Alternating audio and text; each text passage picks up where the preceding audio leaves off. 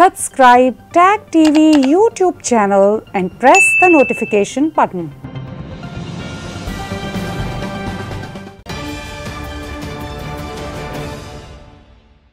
वालेकुम नाजरीन tag TV के पाकिस्तान स्टूडियो के साथ मैं हूँ रुखसा शहजाद सबसे पहले शामिल करते हैं न्यूज़ हेडलाइंस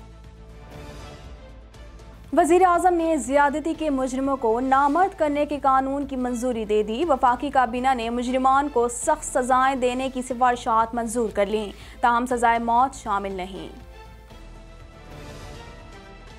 बेकाबू कोरोना मजीद खतरनाक हो गया। वबा ने गुजशत 24 घंटों के दौरान मजीद 48 जानें निकल ली। एक ही दिन में मजीद दो हज़ार नौ सौ चौवन नए मरीजों की तशखीस हुई। कोरोना की दूसरी लहर सिंध में कारोबार 6 बजे तक बंद करने के अहकाम जारी कर दिए गए। जुम्मे और इतवार सिर्फ़ अशिया ज़रूरिया की दुकानें खुलेंगी। डॉलर छह माह की बुलंद सतह पर पहुँच गया। ओपन करेंसी मार्केट में भी डॉलर की कदर एक सौ इकसठ रुपये पैंतीस पैसे पर बंद हुई। Greenish hand sanitizer, ala clean quality, 75% food grade alcohol, non sticky और नॉन ऑयली फार्मूला आज ही अपनी करीबी फार्मेसी से खरीदें या हमारी वेबसाइट पर ऑर्डर करें www.greenish.com कनाडा में आपके पास डॉक्टर और लॉयर होना बहुत ज़रूरी है। हम आपको बताने जा रहे हैं एक ऐसा नाम जो है reliable trustworthy and honest law firm of Shikha Sharda 905 956 6699 पर family law, real estate, wills और किसी भी तरह के एफिडेविट या पैरा लीगल प्रॉब्लम के लिए law firm of Shikha Sharda 905 956 6699 पहली कंसल्टेशन बिल्कुल फ्री है। कॉल लॉयर शिखा शारदा 905 956 6699 वज़ीर अजम इमरान खान ने जिनसी ज्यादती के मुजरमों को नामर्द करने के कानून की उसूली मंजूरी दे दी। मजीद जानते हैं इस रिपोर्ट में।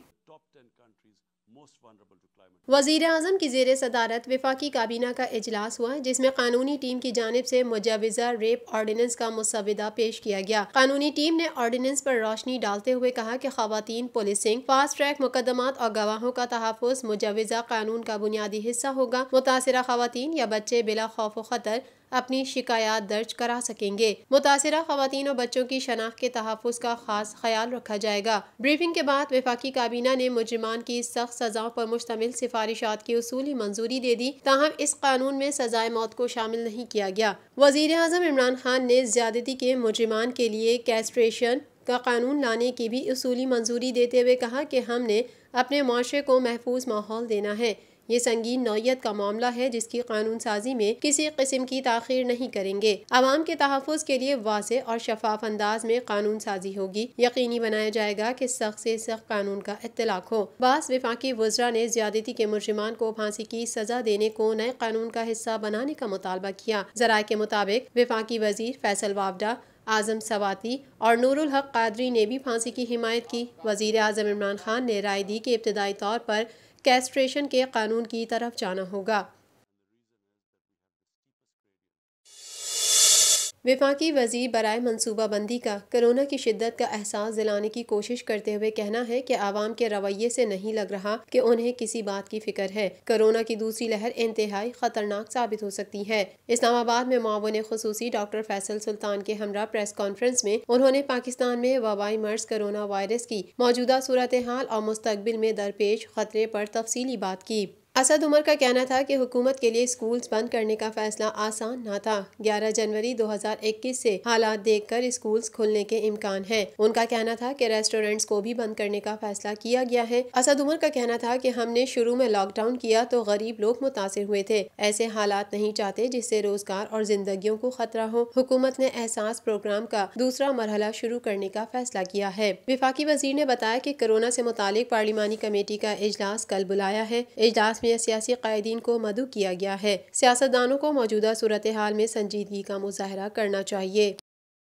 कोरोना वायरस से अड़तालीस अफराद जम बहक हो गए, जिसके बाद अमवात की तादाद सात हज़ार सात सौ चवालीस हो गई। पाकिस्तान में कोरोना के तस्दीक शुदा केसेस की तादाद तीन लाख उन्नासी हज़ार आठ सौ तैंतीस हो गई।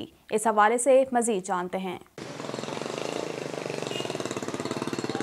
National command and operation centre के ताज़ा तरीन आदाद शुमार के मुताबिक गुजशत चौबीस घंटों के दौरान दो हज़ार नौ सौ चौवन नए केसेस रिपोर्ट हुए। पंजाब में एक लाख पंद्रह हज़ार एक सौ अड़तीस, सिंध में एक लाख चौंसठ हज़ार छः सौ इक्यावन, खैबर पख्तूनख्वा में चवालीस हज़ार नौ सौ बत्तीस, बलोचिस्तान में सोलह हज़ार आठ सौ छियालीस, गिलगित बल्तिस्तान में चार हज़ार पाँच सौ अट्ठावन, इस्लामाबाद में सत्ताईस हज़ार पाँच सौ पचपन जबकि आज़ाद कश्मीर में छः हज़ार दो सौ तीन केसेस रिपोर्ट हुए। मुल्क भर में अब तक बावन लाख छप्पन हज़ार एक सौ बीस अफराद के टेस्ट किए गए। गुजशत चौबीस घंटों के दौरान उनतालीस हज़ार एक सौ पैंसठ नए टेस्ट किए गए। अब तक तीन लाख इकतीस हज़ार सात सौ साठ मरीज़ सेहतियाब हो चुके हैं, जबकि एक हज़ार सात सौ इक्यावन मरीज़ों की हालत तशवीशनाक है। पाकिस्तान में कोरोना से एक दिन में 48 अफराद जाबहक हुए, जिसके बाद वायरस से मरने वालों की तादाद सात हज़ार सात सौ चवालीस हो गई। पंजाब में दो हज़ार आठ सौ उन्नासी सिंध में दो हज़ार आठ सौ पैंतालीस, खैबर पख्तूनख्वा में एक हज़ार तीन सौ तीस, इस्लामाबाद में दो सौ पिचासी, बलूचिस्तान में एक सौ तिरसठ, गिलगित बल्तिस्तान में पचानवे और आज़ाद कश्मीर में एक सौ सैंतालीस मरीज़ जान से हाथ धो बैठे। कोरोना की दूसरी लहर शिद्दत इख्तियार करने लगी। सूबे भर में कारोबार छः बजे तक बंद करने के अहकाम जारी कर दिए गए। कारोबार के औकात कार सुबह छः बजे से शाम छः बजे तक होंगे। मजीद तफसीत इस रिपोर्ट में। कोरोना की दूसरी लहर शिद्दत इख्तियार करने लगी। सूबे भर में कारोबार छः बजे तक बंद करने के अहकाम जारी कर दिए गए। कारोबार के औकात कार सुबह छः बजे से शाम छः बजे तक होंगे। महकमा दाखिला सिंध के मुताबिक तमाम तजारती मराकज़ जुमे और इतवार को मुकम्मल बंद रहेंगे। जुमे और इतवार सिर्फ़ अशिया ज़रूरिया की दुकानें खुलेंगी। महकमा दाखिला की जानब से नई पाबंदियाँ इकतीस जनवरी 2021 तक लागू रहेंगी। नोटिफिकेशन के मुताबिक तमाम सरकारी, निजी दफातर, पब्लिक मकाम पर मास्क पहनना लाजमी करार जुर्माना भी होगा। सरकारी और निजी दफातर में पचास फ़ीसद कम स्टाफ रखा जाए। बंद जगहों पर शादी की तकरीबा पर पाबंदी, जबकि सिर्फ़ खुले मकाम पर शादी होगी। शादी में 200 मेहमानों की इजाज़त होगी। तकरीब नौ बजे ख़त्म करना होगी। महकमा दाखिला सिंध ने शादी में बूफे सर्विस पर भी पाबंदी आयद कर दी। हुक्मनामे में कहा गया कि खाना पैक डब्बों में मेहमानों में तकसीम करने की इजाज़त होगी। मज़ारात, इंडोर सिनेमा, थिएटर जिम बंद रहेंगे। रेस्टोरेंट्स के अंदर खाने पर पाबंदी, खुले मकाम पर रात दस बजे तक डाइनिंग की इजाज़त होगी। टेक अवे और होम डिलीवरी भी रात दस बजे तक होगी।